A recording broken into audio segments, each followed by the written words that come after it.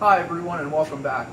On today's video, we're going to be removing part of the ash pan so we can restore it pretty much.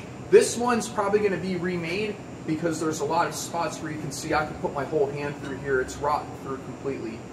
Um, what I want to do is go over how I kind of prep myself to remove one of these.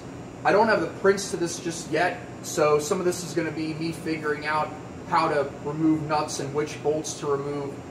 Uh, the other side's already done. I pulled the sheet out, so I'm going to use a little bit of what I've learned from that on this, but I kind of want to walk everybody through quick what's involved in taking this side of the ash pan off. So I'm on, I'm on the fireman side of the locomotive where I've already pulled the pan. Uh, this morning I removed the nuts for the brackets that hold the sides of the pan in place. Uh, I still have to remove the wheel arch part of the pan and I'll show everybody how we do that on the other side.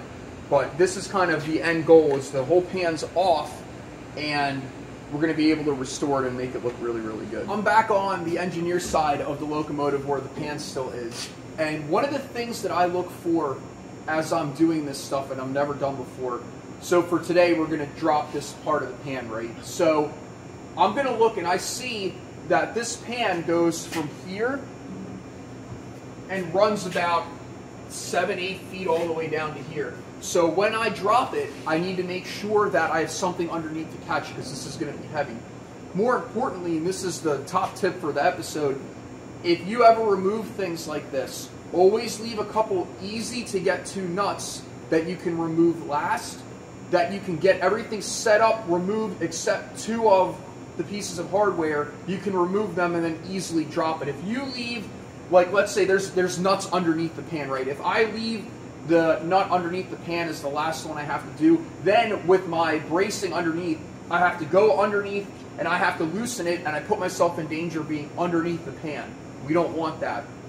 So what I did on the other side is I left this one and this one is the very last set of nuts that I had to remove that were holding it in place. One thing I wanted to go over with everybody, and I'm starting to see this more frequently, is that I'm running into previous repairs that held things together that I now have to deal with when I take it apart. So if the repair's not really bad, it's not really a problem, but on this one you can see there's actually, get my light to shine.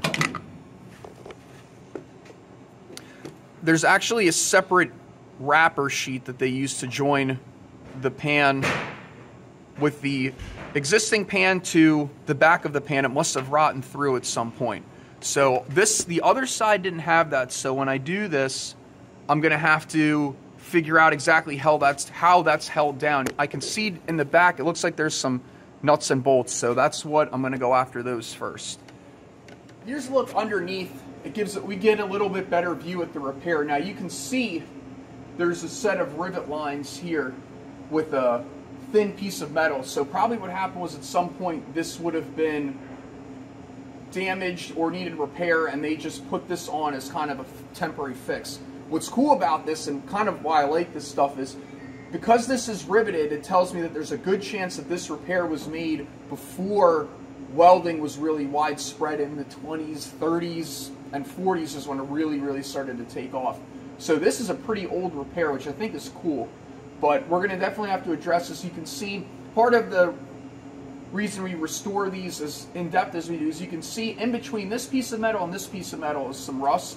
So if you don't get this rust out, you can't paint it, you can't preserve it, and it's going to keep deteriorating until you get all this rust out inside.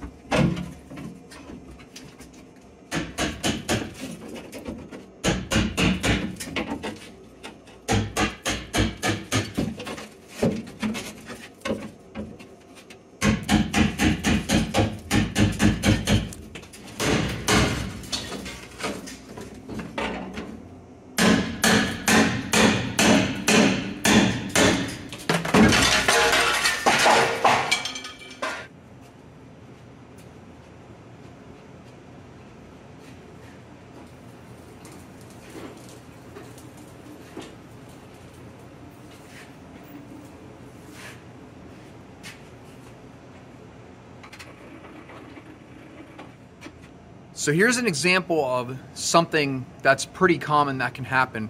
If you see I'm, I have all the hardware underneath this cut off. There's a couple of the bolts here. But if you look over here, there's a piece of angle right here that's bolting this ash pan to the side piece.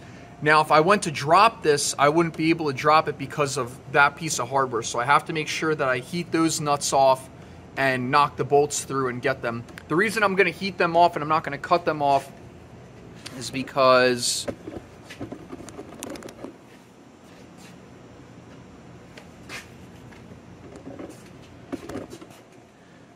This is a square nut, which was more commonly used a long time ago. They can be a little bit hard to get a hold of, so I'm going to save this. I'm going to heat it up and, and save the square nut rather than cut it off. So I'm going to heat them up and get them off quick.